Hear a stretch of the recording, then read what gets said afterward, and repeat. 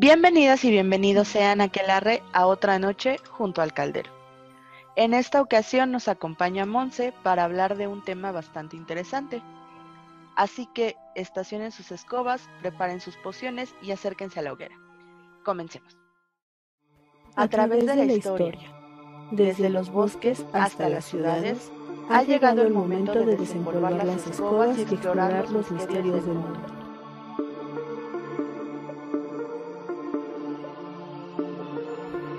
Únete a nosotras junto al caldero. Películas como El silencio de los inocentes y Creep, o series como Hunter o la vieja Criminal Minds, nos han dejado la figura icónica y misteriosa de los asesinos seriales como los monstruos más reales a los que estamos expuestos. En torno a estas figuras existen bastantes cuestionamientos que surgen tanto en la mente de los investigadores como en la población en general. ¿Los asesinos nacen o se hacen? Y si se hacen, ¿cómo llegan a semejante grado de perversidad? Hoy hablaremos de las diferentes teorías que se han expuesto alrededor de este tipo de asesinos desde su nombramiento oficial por el FBI. ¿Cómo se hacen los asesinos seriales? El término asesino en serie fue acuñado por el agente del FBI Robert Dressler basado en los seriales de televisión. El fenómeno de los asesinatos en serie se puede considerar como un producto global y transnacional existente en cualquier civilización y tiempo. Lo que los estudiosos no comprenden es por qué en ciertos países ocurren con más frecuencia. Especulan que puede ser un factor cultural o social. Definimos el asesinato en serie o un asesino en serie jurídicamente como el homicidio de dos o más víctimas por el mismo delincuente en distintos eventos. Los asesinos en serie están específicamente motivados por una multitud de impulsos psicológicos, sobre todo por ansias de poder y compulsión sexual. Con frecuencia tienen sentimientos de inadaptabilidad e inutilidad, algunas veces debido a humillación y abusos en la infancia y o el apremio de la pobreza. También bajo nivel socioeconómico en edad adulta, compensando sus crímenes esto y otorgándoles una sensación de potencia y frecuentemente venganza durante y después de cometer los delitos. Para el estudio criminológico de este fenómeno se toman en cuenta dos tipos de elementos, los cuales enumeraremos a continuación. Los elementos fundamentales o primarios, que son los que dan la base a la naturaleza del asesino serial. Serialidad. Existen tres variables a tener en cuenta en estos casos la continuidad, la relación y la especificidad. Los asesinos en serie planifican de dos formas. Planificación racional, intentan prever los sucesos probables que puedan ocurrir. Estos son los llamados asesinos seriales organizados. Planificación irracional. No existe previsión de sucesos futuros. Estos son los llamados asesinos desorganizados. Cuando se conoce la secuencia asesina del autor, se puede presuponer su tendencia futura. Deben tomarse en cuenta que puede cambiar su tendencia debido a factores externos, tales como la exposición a medios de comunicación o imprevistos en su entorno cercano. Los intervalos de tiempo. Los intervalos de tiempo se separan en dos, que es el enfriamiento emocional objetivo, es cuando haya cesado la actividad asesina completamente, es decir, la interacción entre asesino y víctima ha cesado en todas sus formas directas.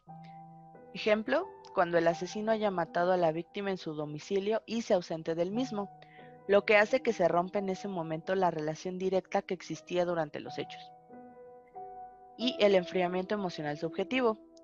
Será aquel que no finaliza nunca, salvo que el autor considere olvidarlo, puesto que la actividad asesina quedará en su cognición en forma de recuerdo le otorga satisfacción física y psicológica en la mayoría de las ocasiones, se servirá de objetos, llamados trofeos, de las víctimas o de volver al lugar del suceso. No existe un periodo establecido de tiempo para delimitar el intervalo de tiempo, ya que pueden ser desde minutos, horas, meses o incluso años. Por esto existen tres tipos de asesinos agrupados en los asesinos seriales o múltiples dentro del FBI. Asesinos en masa, la mayor cantidad de víctimas en un solo evento. En estos podemos incluir los asesinos de masacres escolares como la de Columbine. Asesino frenético, varias víctimas sin motivo aparente en diferentes eventos en un corto periodo de tiempo. Y los asesinos seriales, uno o más víctimas en diferentes eventos con un periodo de tiempo constante. Aparte de estos, añadiremos la clasificación de Holmes y de Burger. El psicópata sádico sexual, un asesino por diversión, el de crimen organizado y envenenadores que cuidan personas. Existen características del asesino serial organizado que son plenamente compatibles con la personalidad psicopática con un agresor que selecciona a la víctima, en ocasiones con un perfil determinado. Utiliza medios colectivos y de sujeción, denominado kit de violador. Aplica técnicas de control y sufrimiento de la víctima, ocultándola cuando la mata y emitiendo pruebas falsas para desorientar a la policía. Los ritualismos implican un aumento de tiempo en escena, aumentando por tanto el riesgo de aprehensión. Estos suponen una, disociación cognitiva del agresor respecto a la realidad, imbuyéndose en las fantasías que ha ido construyendo y que les permitirá revivir cognitiva y emocionalmente dicho momento, con los souvenirs y trofeos conseguidos. El organizado mostrará un estado mental de control durante sus acciones, en todo caso con una disociación emocional durante la, comisión del crimen que puede impregnar de rabia, ira o descarga emocional, sin empatía hacia ella ni sentimiento de culpabilidad o reconocimiento de su responsabilidad sobre las acciones cometidas. El desorganizado, en cambio, no dispone de medio de transporte propio, participa en actividades solitarias, Vive solo o con un progenitor. Mata a las víctimas como mal menor para despersonalizarlas después. Contusiones y lesiones abundantes, múltiples en área facial y tórax fundamentalmente. Puede mantener actividades parafílicas o practicar desmembramientos, normalmente con actividades fetichistas. Ahí entrarían los necrofílicos, por cierto. En el albor de su desorganización no suele ocultar el cadáver. Puede volver al lugar del crimen o participar en la ceremonia funeraria para revivir el clímax emocional que vivió previamente durante o después del crimen. Están también los visionarios, que contrariamente a la opinión popular, rara vez los asesinos seriales son dementes o están motivados por alucinaciones y o voces en sus cabezas. Los misioneros son los llamados asesinos apostólicos. Creen que sus actos están justificados toda vez que ellos se deshacen de cierto tipo de personas indeseables, como prostitutas o miembros de cierto grupo étnico, haciéndole un favor a la sociedad. Están también los hedonistas. Este tipo asesina por el simple placer de hacerlo, aunque las características que ellos disfrutan pueden diferir. Algunos pueden deleitarse con la búsqueda de perseguir y encontrar una víctima más que cualquier otra cosa, mientras otros pueden estar principalmente motivados por los actos de tortura y abuso de la víctima mientras está viva. A pesar de eso, otros pueden asesinar al perjudicado rápidamente, casi como rutina, y después gratificarse en actos de necrofilia o canibalismo. Usualmente existe un fuerte rasgo sexual en los crímenes, aun cuando puede que no sea inmediatamente obvio, pero algunos asesinos obtienen una oleada de excitación que no es necesariamente sexual. Los elementos accesorios o secundarios, que son los que dan forma al crimen, pero no son necesariamente la base de este. El autor. En la criminología antiguamente no se hacía distinción de género. Sin embargo, en los últimos años, gracias al avance de la criminología con perspectiva de género, se establecen diferencias entre la conducta criminal y la victimología femenina. El número de agresores. Simplemente es una correlación numérica que comienza con un autor y que puede darse en diferentes combinaciones tanto de número como de sexo. El sexo de los agresores, la elección de víctima y la voluntad del agresor. A nivel jurídico se traduce en inimputable, semi-imputable e imputable. Esto quiere decir inimputable cuando no son capaces de hacerse responsables de sus acciones, semi-imputable cuando presentan un trastorno pero son capaces de hacerse cargo de sus acciones, e imputable, que es cuando son considerados libres de elegir cometer o no cometer un crimen. Vinculación entre asesinatos, lugares de actuación y la puesta en escena de las fantasías. Las que se atribuyen a la víctima, que son relación entre agresor y víctima, o la cosificación o valor de las víctimas. ¿Cómo se hace un asesino en serie? Existen varias teorías criminológicas que expondremos a detalle en los siguientes puntos.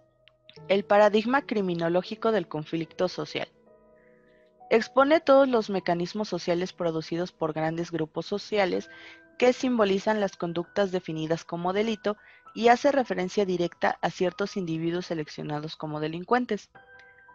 Realmente, para los investigadores de este paradigma, tanto la delincuencia como los delincuentes solo existen en contraposición con los mecanismos de control existentes que los definen y tratan como tales.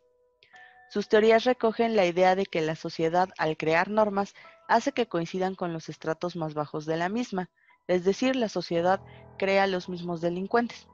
En este paradigma ubicamos dos teorías, que es la teoría de la desubicación cultural los asesinos seriales aparecen en épocas inestables o periodos de desinhibición cultural.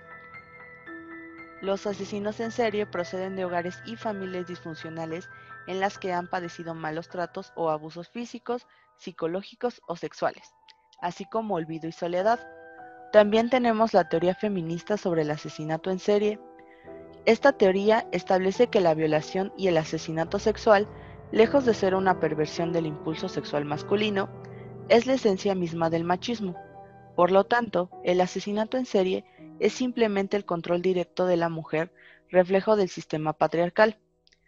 El asesino vendría a ser entonces resultado de la ideología patriarcal y por lo tanto no sería un pervertido, sino un hijo sano del patriarcado. Paradigma científico. Se basa en que la conducta humana está determinada por causas concretas, una de ellas es las influencias sociales. Está basada en que la delincuencia deriva de la mala estructuración y funcionamiento social. La sociedad le impide al individuo tener prosperidad o un acceso social legítimo. Teorías. Está el modelo de motivación en el homicidio sexual. Descrita por Hartman, Ressler, Douglas y McCormack, es cuando el entorno social es ineficaz. Los individuos no desarrollan vínculos sociales esenciales con sus familiares y compañeros. También entrarían las figuras jerárquicas superiores que enseñan actividades antisociales o criminales a los menores o que las apoyan. También cuando se minimizan las acciones antisociales del infante. Traumas e incapacidad de resolver el estrés por un trauma sufrido en el niño puede hacer que éste busque refugio, refugio en la fantasía, a menudo sobre temas de dominación y control. Esto también impacta en su socialización. Se desarrollan patrones de conducta hostiles tales como crueldad con los animales, desprecio hacia los otros niños, agresiones, incendio, robo y destrucción de la propiedad debido a la falta de castigo eficaz en su entorno. Estas conductas negativas se vieron reforzadas y se realizaron a menudo. En la adolescencia, se da un comportamiento agresivo, robo con fuerza, violación, asesinato y asesino sexual. Está como filtro de retroalimentación para mantener la estabilidad interna del mundo de fantasía. Por consiguiente, el individuo es capaz de racionalizar cualquier comportamiento anormal o negativo como algo positivo o normal. Modelo del trauma control. Expuesto por Hickey. El modo en el que se manifiestan los traumas y el número que se producen dentro de la vida de un individuo es lo que separa al asesino en serie de la población en general. Los traumas infantiles manifestados como rechazo, pérdida de autoestima, desconfianza, ansiedad o confusión afectan su capacidad para hacer frente a la atención de los eventos. Hickey dice que el resultado de múltiples traumatizaciones produce un efecto exponencial sobre el individuo, el método con el que la persona lidia con tales efectos produce diferentes resultados en la resolución del trauma. Algunas de las formas para lidiar con estos traumas pueden ser métodos egocéntricos, formas constructivas participando en actividades lúdicas, actuar sobre el entorno circundante de manera cruel o suprimir la experiencia hasta el punto de no recordarla. Existen elementos facilitadores, tales como la pornografía, la exposición a la violencia, el alcohol o las drogas, que pueden ser causales en el proceso de homicidio serial. Algo que también se menciona es la triada neuropsicológica. El asesinato nace de la interacción del maltrato infantil con las lesiones neurológicas y las enfermedades psiquiátricas. Los estudios de la neuroimagen, la violencia está relacionada con el mal funcionamiento de la región frontal. Otra teoría que se manejaba mucho era la triada de McDonald, integrada por tres características, crueldad hacia los animales, obsesión por el fuego y eunoresis. Existe también una hipótesis de la víctima sustituta. En esta se plantea que el asesino serial se arrastra a sí mismo como sustituto de la víctima fantaseada cuando una víctima externa no está disponible. Generalmente hay autoerotización mediante asfixia u otra técnica sadomasoquista. Está también la hipótesis vicaria. En esta se plantea que el asesino debe identificarse con la víctima para así saber qué respuesta esperar de la víctima cuando él la torture. Modelo de tolerancia adictiva.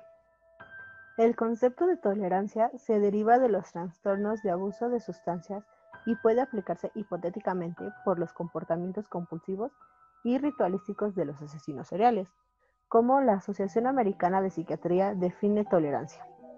Es un efecto marcadamente disminuido cuando se usa continuamente una misma cantidad de una sustancia. Ante esto, se ha hipotetizado que existen otras formas de adicción gratificante en donde una mayor cantidad de dosis, o de lo que se llamaría dosis, de un comportamiento se necesitará para, para alcanzar el mismo efecto. Teoría de la grandiosidad sádica. Cuando el ofensor asume el rol de una víctima actual o pasada, el ofensor busca el control de su víctima más allá de la vida y la muerte. El paradigma de la interacción. Actualmente es el que más se utiliza en la criminología y se une a las diferentes teorías antes mencionadas. Se une en la teoría plurifactorial del ciclo obsesivo-compulsivo adictivo en el asesinato en serie. Esta teoría se divide en cuatro pasos. 1. La etapa del trauma. Factores predisponentes de esta etapa. Periodos históricos inestables, tales como guerras o depresiones económicas, maltrato y, abuso físico, psicológico y sexual, entorno social ineficaz, crueldad hacia los animales y semejanza, lesiones o enfermedades neurológicas o psiquiátricas, problemática o disfunciones sexuales, antecedentes penales e infracciones administrativas, comportamiento agresivo y acecho. La segunda etapa es la creación de las fantasías ritualizadas. En esta etapa tenemos objetos facilitadores, las drogas, el alcohol y la pornografía, que llegan a incentivar comportamientos como el canibalismo y la necrofilia. También tenemos el proceso disociativo de identidad, la tercera etapa es la etapa del estrés o el detonante. En esta etapa tenemos el acontecimiento que lleva a la libre decisión de matar, la motivación de los asesinatos y el acontecimiento desestabilizador, conocido como detonante. La cuarta etapa es la etapa del ciclo obsesivo compulsivo adictivo. Cada crimen que comete el asesino retroalimenta constantemente su fantasía. Unos ejemplos de asesinos seriales serían Gilles de Rice, que en el siglo XV secuestraba al parecer niños a los cuales ultrajaba sexualmente y posteriormente los mataba o asesinaba. O la conocida historia de Jack the Ripper, quien a finales del siglo XIX generó una ola de alarma social en Londres atando y descuartizando mujeres de baja condición social, especialmente prostitutas. También está Ed Gein, enfermo de psicosis, que originó la figura de Norman Bates en la película de Psycho. Nombres como Albert de Salvo, Ed Kemper, Ted Bundy, Andrew Cunanan, Richard Case, Monty Russell, John Gacy, John Hubert o Henry Lee Lucas han motivado profundos análisis sobre la conducta serial grave. Los peores asesinos en serie de la historia. Daniel Camargo. Se dice que nació en algún lugar de los Andes colombianos. Destacó por ser un gran estudiante en un conocido colegio de Bogotá, pero pronto dejó los estudios para aportar económicamente a su arruinada familia. Años después, al sufrir un engaño de su esposa, empezó a sentir un profundo odio por las mujeres. Así, junto con su compañera sentimental, iniciaron un interminable ciclo de violaciones selectivas a jóvenes vírgenes, topándolas previamente. Ingresó a prisión tres veces por sus crímenes, consiguiendo escapar en 1984, estando a la deriva varios días sin agua y comida. Al llegar a Ecuador reinició sus acciones criminales, confesando haber matado hasta 72 niñas desde que se escapó de prisión. En total, las autoridades calculan que asesinó y violó a más de 150 niñas y adolescentes, siendo condenado por última en 1989. En noviembre de 1994 murió en la cárcel, asesinado por el primo de una de sus víctimas. Otro de los peores de la historia es Andrei Chikatilo, el carnicero de Rostov. Fue un temido asesino serial en la antigua Unión Soviética, donde perpetró sus crímenes. Los abusos físicos y psicológicos en su infancia fueron una constante, sufriendo graves episodios de neurosis. Se enlistó en el Ejército Rojo y al regresar estudió las carreras de lengua y literatura rusas una maestría en filología, por lo que no le fue difícil alcanzar una plaza como profesor de escuela. Durante la década de los 80, una serie de desapariciones y asesinatos cometidos contra niños en Ucrania llamó poderosamente la atención de las autoridades soviéticas. La perfección en la mutilación de los cuerpos era tal que 26.000 médicos con dichas habilidades fueron puestos en investigación. Al ser capturado por primera vez en 1984, fue dejado en libertad por su aspecto inofensivo y por las buenas referencias de sus vecinos. Finalmente, la policía logró comprobar que era el asesino de más de 50 mujeres de toda edad, siendo enjuiciado y fusilado en 1994 a los 57 años. Dr. Harold Shipman. El médico británico Harold Shipman ha sido indicado el mayor asesino de la historia del Reino Unido, ya que se habría demostrado que es el responsable de al menos 250 asesinatos, todos mediante inyección letal de morfina por lo que se ha concluido que era un adicto a matar. Era un médico muy reconocido en la comunidad de Manchester, por lo que nadie sospechó de él cuando las funerarias y otros médicos empezaron a notar que la tasa de la mortalidad entre la gente que el hospital donde trabajaba había atendido previamente era más alta de lo normal. Shipman, que era adicto a la morfina, había suministrado un exceso de morfina a un inmenso número de hombres y mujeres, entre los 41 y 93 años. La noticia remeció al Reino La noticia estremeció al Reino Unido, pues mucha gente se sintió hundida al enterarse que sus familiares no fallecieron por razones naturales, sino que su muerte fue provocada. Después de que lo sentenciaran a 15 cadenas perpetuas, se suicidó ahorcándose en la prisión de Wakefield. Gary Ridway, The Green River Killer, el asesino de Green River es uno de los asesinos seriales más prolíficos de la historia de los Estados Unidos. Aunque se le encontró culpable de hasta 48 asesinatos, confesó haber realizado cerca de 71. Los especialistas calculan más aún. Cuando lo capturaron, sus familiares y amigos no podían creer lo que estaba pasando. Lo describieron como una persona generosa, que jamás podría asesinar a alguien. Sin embargo, ya desde su adolescencia manifiesta conductas psicopáticas, cuando intentó asesinar a puñaladas a un niño solo porque quería experimentar lo que se sentía matar. El origen de su misoginia se remontaba al odio que sentía por su madre, quien constantemente lo maltrataba durante su infancia. Por sus horrendos crímenes, fue condenado a cumplir 49 cadenas perpetuas continuas en una prisión de alta seguridad, evitando la pena de muerte al detallar el modus operandi de todos sus asesinatos. Pedro Rodríguez Filo. Este asesino serial brasileño, conocido como Pedrino Matador, en su país, se hizo conocido por la condena de 128 años que le impuso la justicia brasileña por el asesinato de 71 personas en 1973. Lo curioso es que las víctimas que escogía eran, generalmente, criminales cuyos delitos eran impunes. Filo tenía un alto sentido de justicia, por lo que buscaba asesinar a aquellas personas que él consideraba moralmente inferiores. Cuando cumplió su condena en el 2003, ya que el sistema judicial brasileño no permite que una persona pase más de 30 años en la cárcel, no sabían si librarlo o mantenerlo en prisión, debido a que, durante su condena, había asesinado a más de 50 criminales, incluyendo a su propio padre. Por ello, fue, fue enjuiciado nuevamente y sentenciado con 945 años de cárcel, la pena más alta de la historia de Hispanoamérica. En el 2007 salió finalmente en libertad por temas estrictamente legales y actualmente se encuentra libre. Jeffrey Dahmer, también llamado el carnicero de Milwaukee, se caracterizaba por tener una personalidad poco sociable y limitaba sus relaciones personales a la menor cantidad de personas posibles. Exhibió una personalidad estrafalaria durante la adolescencia que solo era la careta de un potencial criminal con poses histriónicas. Se calcula que asesinó a 17 personas en el periodo de 1978 a 1991.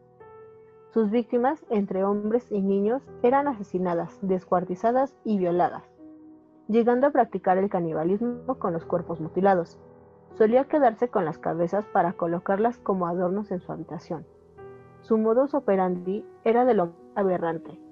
Primero invitaba a sujetos desconocidos a beber a su casa. Introducía drogas en sus bebidas. Los estrangulaba. Tenía sexo con los cadáveres y tomaba fotografías de cómo desmembraba sus cuerpos. Su última víctima logró escapar y el asesino terminó siendo capturado muere antes de recibir sus 15 condenas de cadena perpetua. Actualmente no se puede decir con certeza que exista una receta, por así decirlo, para que se cree un asesino serial, pero la idea más aceptada es que se trata de una combinación de factores psicológicos, sociales y en algunos casos también fisiológicos. Sin duda es un tema interesante el analizar la vida de estos asesinos y más que nada sus conductas y formas de operar. Así que estaremos haciendo capítulos de algunos de estos sujetos más adelante. Bueno, si nos podemos analizar la vida de estos asesinos, muchos de ellos tuvieron eventos traumáticos y tienen como muchas de las características que se mencionan en las teorías. Por ejemplo, este, Ed Kemper tuvo tanto el golpe en la cabeza como los abusos físicos y sexuales en la infancia y lo que mencionan como entorno social ineficaz, que no tenía una capacidad de relacionarse con los demás porque su mamá no lo dejaba relacionarse con los demás y porque con el tiempo se fue volviendo incapaz de relacionarse porque no sabía cómo hacerlo. Algo que mencionan de él es que se llevaba bien con los policías de un cierto bar cuando, cuando ah, empezó a asesinar, pero, o sea, era como una socialización súper impersonal porque él sentía que no se merecía que le importara a alguien. Creo que también sería interesante remarcar lo de los aspectos parafílicos que muchos tienen y ese placer que llegan a sentir no solamente en cuanto a sus agresiones sexuales, sino que hablamos de que hay personas que sienten placer con el simplemente hecho de lastimar o en este caso matar a alguien. Sí, se menciona que en, bueno, en su psique llega a haber una relación entre sexualidad y violencia como equivalencia. Exacto. Y creo que la mayoría lo tienen. Sí, si no es que todos, todos llegan a tener, aunque no sea un placer concretamente sexual, pero sí llegan a tener un, un placer de matar ya sea del hecho de matar, del ritual de matar o del después de matar. Por ejemplo, Ted Bundy no tenía como tal, según él, este contacto necrofílico, pero sí sentía un placer por matar a sus víctimas. Pues sí, o sea, es que hay de placeres a placeres, ¿no? a final de cuentas, o sea, hay situaciones que te dan placer y no son sexualmente hablando. Por ejemplo, a las personas que tienen TOC les causa placer ver todo ordenado. ¿Has visto esas imágenes del súper que se ve así súper acomodado? Sí. Hay personas que les causa placer eso. Es como cuando las los videos esos virales que ves de este placer visual y son cosas del mismo color o cosas súper acomodadas o cosas así. Exacto, entonces, ¿en qué? Ahí es cuando hay como ese delimitante social del ser que puede sentir alguien. Y sí, aquí la relación violencia-placer es muy notable. En, en, sí, sí, en todos los asesinos. Exacto. Sigo en contra de que digan que son pirómanos. Nadie me va a quitar eso de la cabeza. Es que muchos sí son pirómanos. Porque más que nada les gusta destruir. Ajá, supongo. es, es, es por eso que la teoría criminológica que abarca a las mujeres es diferente, porque muchas de las mujeres que son asesinas o que son criminales de un tipo parecido no tienen las mismas características. Este, y ella no presentaba, o sea, aunque presentaba conductas violentas, no presentaba una conducta de violencia, de violencia igual a, a placer. O sea, muchas de ellas no matan por placer, matan por algo en su cabeza que seleccionan como necesidad como la chica que mataba a sus agresores. Como ella, ella no mataba por placer, pero mataba cuando se sentía acorralada, cuando sentía que la querían usar o cualquier tipo de cosas, era como su reacción. Era más como esa agresividad que uno llega a sentir que es por supervivencia, ¿no? Porque se dice que el ser humano puede ser agresivo y puede ser violento. Exacto. No sé, es muy complejo todo esto de los asesinos. Y hay también, por ejemplo, como mencionábamos en una de las categorías de los asesinos por envenenamiento, de los que cuidan personas, hay muchas mujeres que hacen que tienen ese tipo de modus. Por ejemplo, la, la de la mamá que envenenaba a su hija, no la mató, pero la envenenaba y la mantenía como si estuviera enferma. Creo que se llama el caso de Dick Gipsy, no sé quién, algo así. Sí, sí, sí, sí, sí, ya sé cuál yo, me ¿Cuál es? Que ella, bueno, hace que su novio la mata a su mamá, ¿no? Sí, ya sé cuál es. Eso se me hizo un poquito perturbador. Está súper perturbador por los dos lados, porque la mamá tenía una necesidad de control y de ser reconocida a través de su hija, y la niña, pues, podrías decir que actuó en un sentido de desesperación, de que no sabía cómo salir de esa situación y además quería, tenía esa ira como reprimida de sentir que pues toda su vida había sido una mentira y pues por eso la mató. O sea, no lo justifica, pero es como todo ese cúmulo de cosas que la llevó a, tomar esa decisión. Es que sí siento que esa parte del asesinato de una mujer hacia otra persona es por, por supervivencia o por represión, lo que te decía de, de la purga, que es más esa parte que reprime el ser humano y que al momento de que lo pueden hacer, pues lo hacen y ya. Sí, deberíamos hacer un capítulo sobre eso. Mujeres. ¿Sobre que la purga? No, ah, sobre la purga y sobre mujeres asesinas. Sí, son dos diferentes. Así de, de mesa de debate. ¿Qué tan viable sería la purga? Ya te dije que no sería viable, pero bueno. ¿Qué opinan al respecto y qué harían en una situación así? ¿Con quién se encerrarían? ¿Saldrían a matar? Yo tendría mucho miedo. Háganoslo saber en la cajita. Yo me encerraría. O sea, yo tendría muchísimo miedo. Ya sí. O sea, es mi día a día, no pienso salir más. Sí, no creo que a muchos la pandemia nos ha dejado así como de, no, ya no quiero salir. Mm, yo lo decía desde la parte de que soy mujer, vivo en uno de ah, los países con mayor violencia hacia las mujeres. Ya no quiero salir. que en cualquier momento te pueden hacer algo. Sí, la vez pasada me di cuenta de lo, de que realmente sale, salgo así todos los días y es como de, ¿por qué? Sí, o sea, es como tener todo el tiempo esa sensación de temor de que te va a pasar algo. Sí, se llama ansiedad. Es justo lo que veo, porque uno diría, bueno, ya sabes, o sea, en la película de la purga, ya sabes que tienes una fecha. ¿Qué tal si hiciste enojar a alguien en ese tiempo y ese alguien va y te mata solo porque lo viste feo?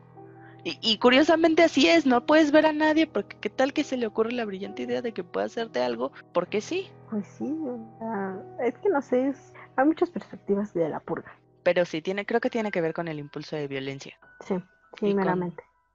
y con nuestra forma de lidiar con la frustración y cómo exploramos o reprimimos esa violencia. Exacto. ¿Y qué tantas herramientas tenemos en nuestra psique, ya sea individuales o sociales, para poder contrarrestar esos efectos? ¿no? Sí, o sea, para asumir realmente esa, esa violencia que está.